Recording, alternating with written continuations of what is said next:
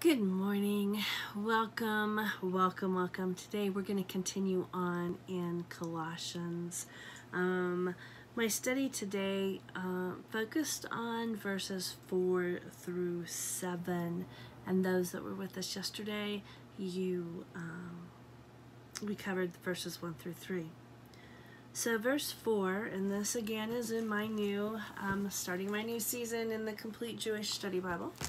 Um, because I always like to try different um, different translations um, and compare them. So I have a bunch.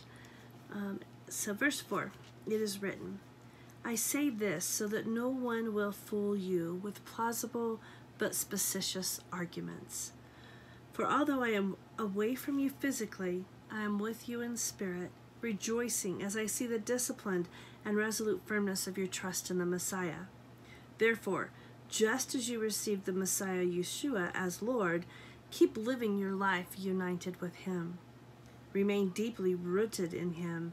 Continue being built up in Him and confirmed in your trust, the way you were taught, so that you overflow in thanksgiving. So, first off, specious. I needed to look it up because I wanted to make sure what specious is. Because if you're going through and you have a word that pops out at you or that you're not sure you're you're clear of the um, of the exact meaning, look it up because you'll be amazed. Sometimes that'll take you on a whole nother level or um, trail that will bring enlightenment that's amazing. So when I looked up specious, um, is defined as having a false look of truth or genuineness, superficially plausible but actually wrong, misleading in appearance, especially misleadingly attractive, having deceptive attraction, or showy.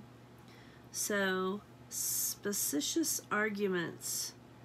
Okay, well, that's one to take note of, especially in today's times where, oh my goodness, you get on Facebook and people are, I don't even care if they're for the same thing, they will go off and just pick an argument just to pick an argument. I don't understand that. Um, but they do and it's amazing and so i try to avoid those because it just doesn't bring peace in my spirit.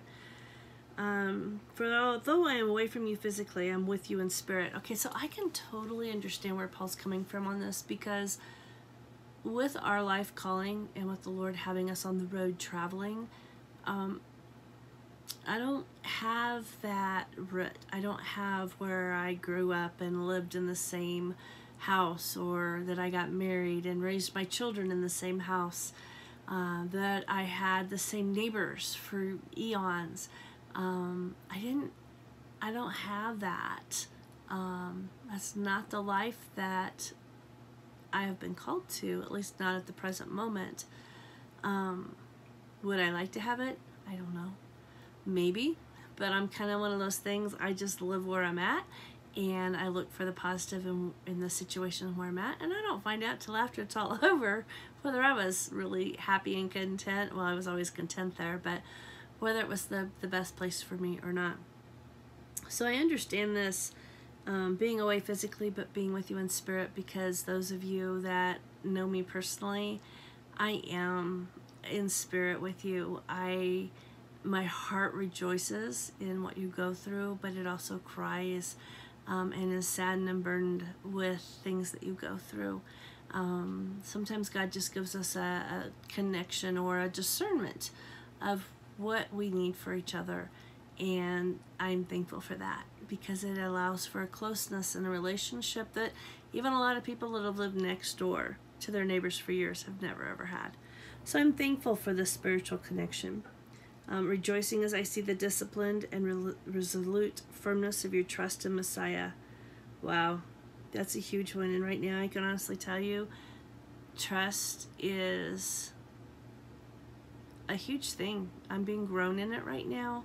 Um, faith, remembering, being quick to respond when the enemy comes and says, um, whispers something or puts a thought out there that I'm not good enough or we're not going to make it or why did we do this um, because sometimes the actions that the that we're led to do or the that we're led to take don't measure up according to the world system um, but they do measure up according to God's. And I have to be in communion with Him in relationship to know that when He's asking us to do something that doesn't measure up in the world system, I have to know that it is Him that's asking and that He's the one that's leading or telling us to do it. Um, and that takes trust. Because even when you know that you know that you know that you're doing what you're supposed to do, when things um, don't measure up in the world system, sometimes it can really bring some challenges, especially if you're tired or run down or stretched or haven't got enough sunshine.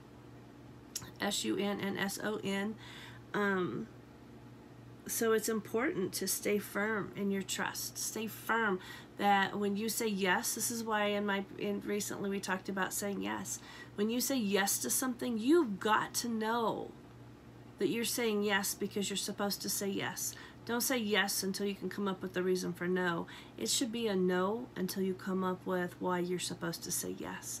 Because you've got to know when you're walking out that yes, that God is the one that led you to do it and that asked you to do it um, because He then will provide in every way, shape, or form. He has already got you set up for success because He's not going to ask you to do something that he is going to um, that you're going to fail in. So you just have to have that trust. And i'm being stretched in that. So if you want to join me in praising and declaring and decreeing that i'll take it verse 6 therefore just as you receive the messiah yeshua as lord keep living your life united with him kind of like marriage i always love my husband do I like him all the time? No. Um, but that's okay because you know what? It goes both ways. And there's a lot of times where he doesn't really like me either, but the love is there. And that is what has got us through and will continue to get us through um, the challenges and the tough times and the fun times and the not so fun times. Um, and so it's like you've got you got to be deeply rooted in God. Because even if you don't like yourself, God does. Even if you don't love yourself, God does. And there are days you just have to cling to the fact that He loves you. He likes you because He can see you in a greater degree than you yourself. Especially if you have lies or expectations and things that were put into your head um, that aren't you, that aren't truth, and you're in the process of getting rid of them, or you're you're needing to be in the process of cleaning that out. Um, you've got to be able to know who God says you are and cling to that and trust Him and stand firm, firmly rooted in who He says you are. It says, remain deeply rooted in Him, continuing being built up in Him and confirmed in your trust. Well, how do you get built up? By feeding yourself. How do you feed yourself? Praise and worship um, being in the Word, fellowshipping with other like minded believers. Um, actually, it's still a little crispy outside today, but I'm going to take my praise music and I'm going to take my flags or scarves and I'm going to go outside and I am going to soak up some sunshine in His beautiful weather and this beauty that He created for us. And I'm going to be doing some praise, um, praise dancing and laying my heart out there for him, giving him the, the things that are on my heart, the concerns, the challenges. Um, I'm gonna give them to him, and that's on my plans for today. Uh, let's see. The way you were taught, so that you overflow in thanksgiving. Okay, well some of you may be saying i wasn't taught this i wasn't raised in a christian home or i wasn't i was raised in a bad situation okay well that's in your past and the way you were taught is what you get by getting into the word where you're getting your feeding where you're getting your teaching it's make sure it's a bible-based church make sure they're teaching from the word not from other people's books that wrote something that they interpreted from the word Get it straight from the Word, get it straight from God. But that is where your teaching comes from. And maybe your teaching just started yesterday. Maybe your teaching just started today. It's okay. That is what you stay firmed in, the what you're being taught. And you will overflow with thanksgiving.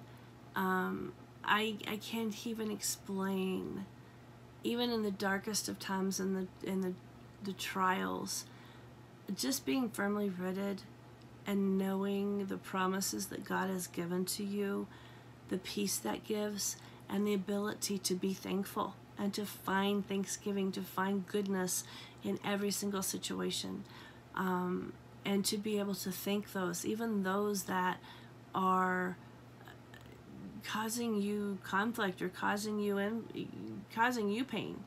Um, always be thankful. There's always a reason to be thankful.